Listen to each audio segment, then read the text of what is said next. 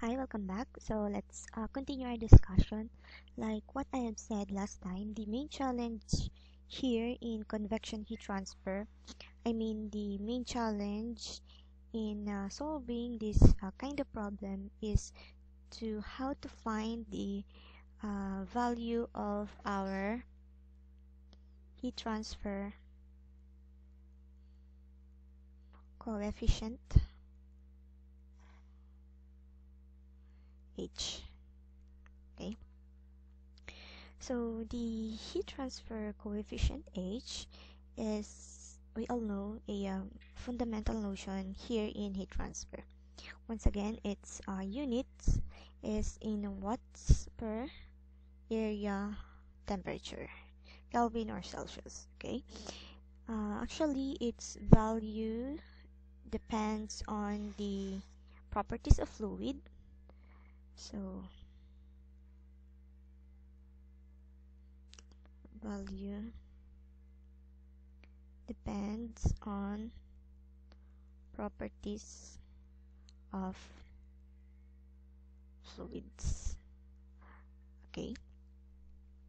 That's why um, different um, uh, different conditions and different fluids has a different value of h okay? So once again the value of this h depends on the properties of our fluid such as the um, the specific heat specific heat what else the density uh, what else the thermal conductivity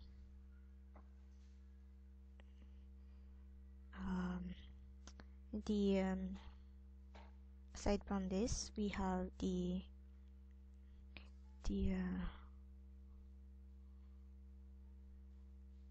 the uh, flow regime.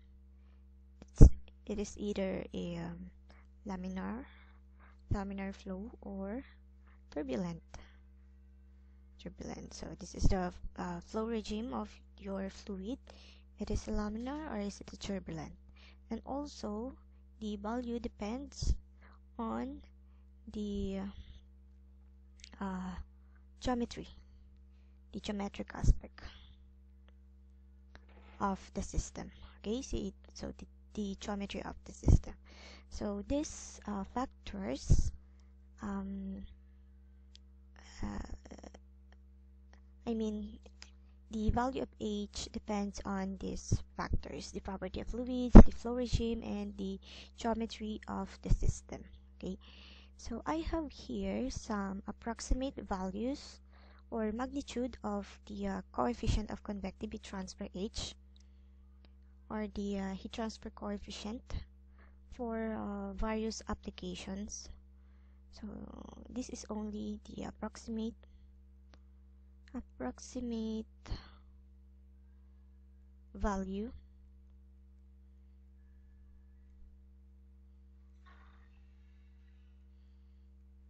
Okay.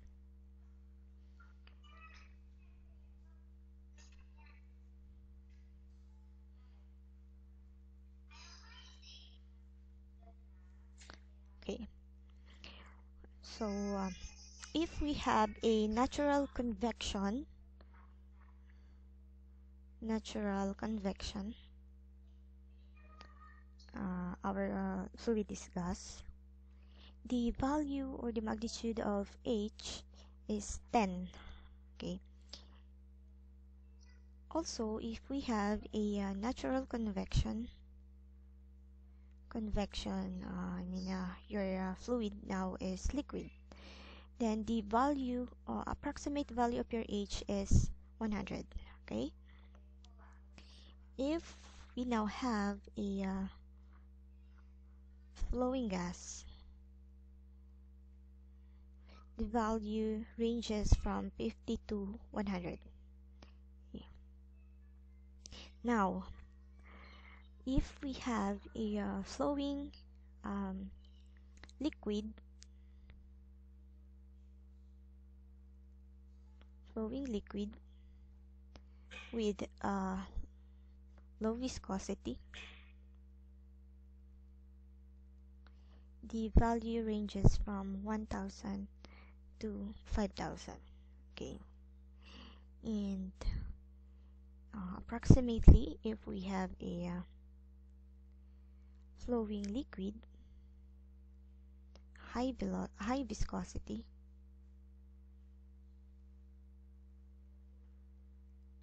we have 100 to 500 H or uh, watts per square meter K.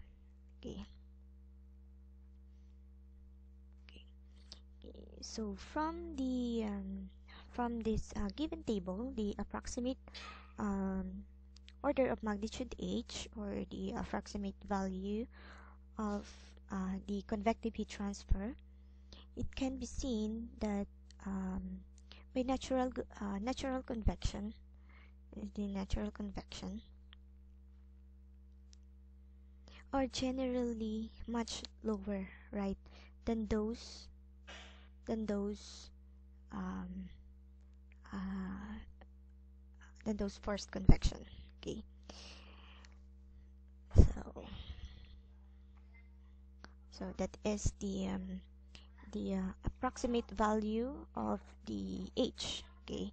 And once again we can notice here that the natural convections are um, I mean have a uh, much lower value than this uh, forced convections okay? Now to determine the heat transfer coefficient, because that is only an approximate value, there are generally five methods available, okay, for the evaluation. Okay. So we have methods. So one, we have the what we call the dimensional analysis combined with experiments.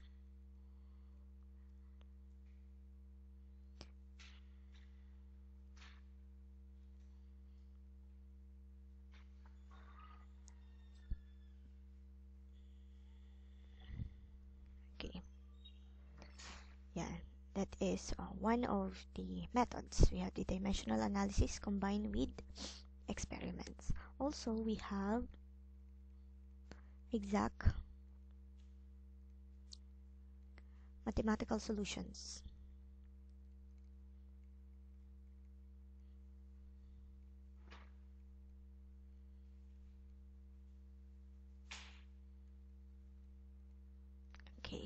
So another method is through exact mathematical solutions of the boundary layer equation. Okay. The third um, method is through the approximate analysis. Approximate analysis of the boundary layer equations. By integral methods. Also, we have the what we call the analogy between heat and momentum's transfer.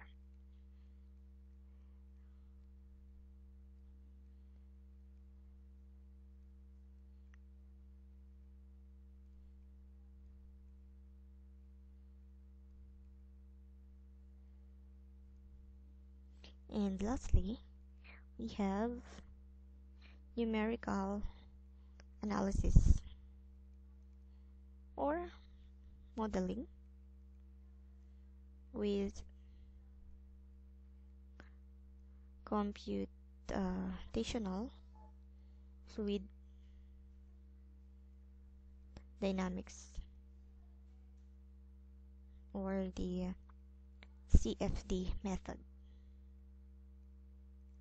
okay.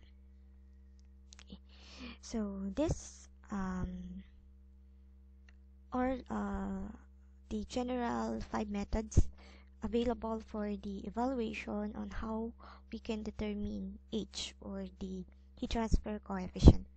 Okay. And remember that uh, no single method can solve all the problems because um, uh, each of these uh, each of one has limitations and restrict uh, its scope of application. So uh, in our course, we will uh, uh, use dimensional analysis using empirical correlations okay, to determine the value of h. Okay, so that is why I am um, I am uh, saying last time that the main challenge here, though we have a, a very simple uh, equation or um, um, yeah equation uh, to find the value of our Q or the heat transfer uh, or the heat flux. But the main challenge is to find the uh, value of our H. Okay. So though we have these uh, many methods in our course we will use the dimensional analysis um, using the um, uh, empirical correlations okay? So using the uh, experiments of some uh, researchers. Okay so on the next video we will gonna um, I mean I will introduce to you the what we call the non-dimensional numbers because uh, those uh, non-dimensional numbers will help us realize on how we can come up with the value of our H. Okay so see you on our next video